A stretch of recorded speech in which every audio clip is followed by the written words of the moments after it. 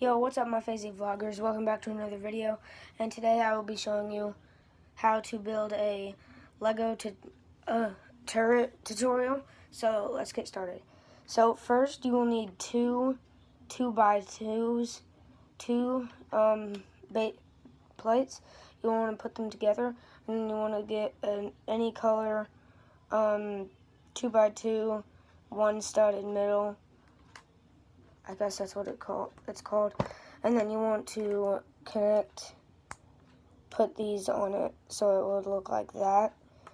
And then next you would want to grab a circle piece with one stud in the middle.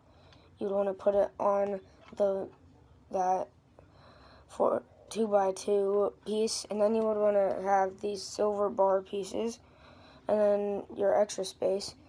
You want to put them right here so, so far your turret would look like that.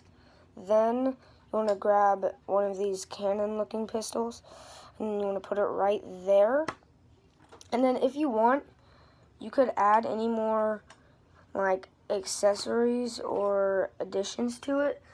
Like for example, you could make like your base bigger with like some of, oops, whoops, moved that get that out of the way. You can use like some of these pieces to make your base bigger if you wanted it. But I want to make mine simple and easy.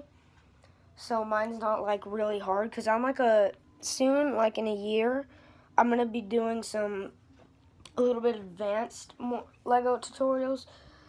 So, yeah. So right now I'm just doing like starter tutorials. So that is how you build a Lego turret. And